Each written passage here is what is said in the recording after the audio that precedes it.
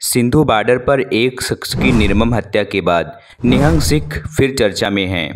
निहंग सिखों पर हत्या का आरोप लग रहा है, लेकिन सच्चाई पुलिस की जाँच के बाद ही सामने आ पाएगा। सिंधु बॉर्डर पर एक शख्स की निर्मम हत्या के मामले में शुक्रवार को निहंग सरबजीत सिंह ने पुलिस के सामने सरेंडर कर दिया। सोशल मीडिया पर इस निर्मम हत्या की तस्वीर तेज़ी से फैल रही है, और जिसने भी ये तस्वीर देखी, उसे इस घटना की घोर निंदा की। इस घटना के सामने आने के बाद ये आरोप लगाया गया कि निहंग सिखों ने रूह कपा देने वाली इस घटना को अंजाम दिया है।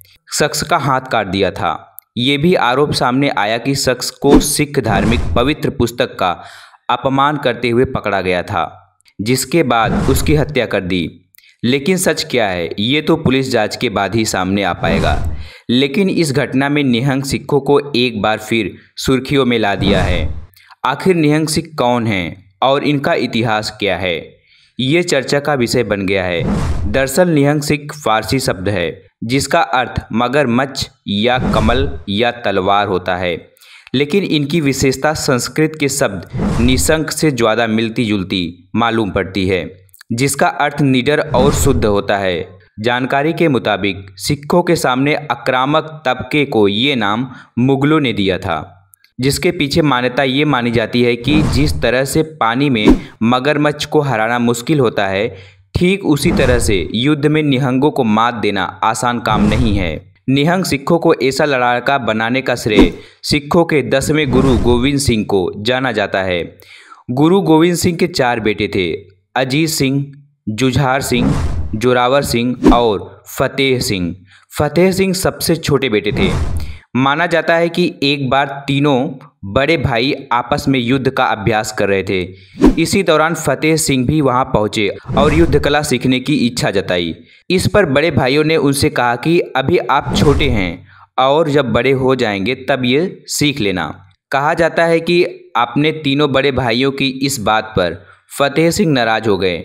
वो घर के अंदर गए और नीले रंग का लिबास पहनकर सिर पर एक बड़ी पगड़ी बांधी और हाथ में तलवार और भाला लेकर पहुँच गए। उन्होंने अपने भाइयों से कहा कि अब वो लंबाई में तीनों के बराबर हो गए हैं। गुरु गोविंद सिंह ये सब देख रहे थे। फतेह सिंह की बहादुरी से वे प्रभावित हुए और तब जाकर चारों भाइयों को उन्होंने युद्ध कला सिखाई। मान्यता है कि फतेह सिंह ने अपने बड़े भाइयों की बराबरी करने के लिए जो चोला पहना था वही आज के निहंग सिंह पहनते हैं।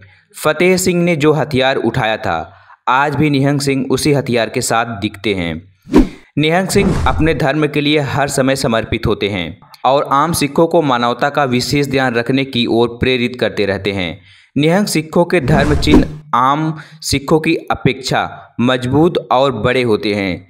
जन्म से लेकर जीवन के अंत तक जितने भी जीवन संस्कार होते हैं, सिख धर्म के अनुसार ये उनका प्रेम से निर्वहन करते हैं। अतीत में निहंग सिखों ने अपने धर्म को बचाने के लिए कई लड़ाइयाँ लड़ी हैं और अपना बलिदान दिया है, लेकिन उनकी यही बहादुरी उन्हें कट्टर भी बनाती है, जिसके वजह से इनका विवादों से नाता रहता है।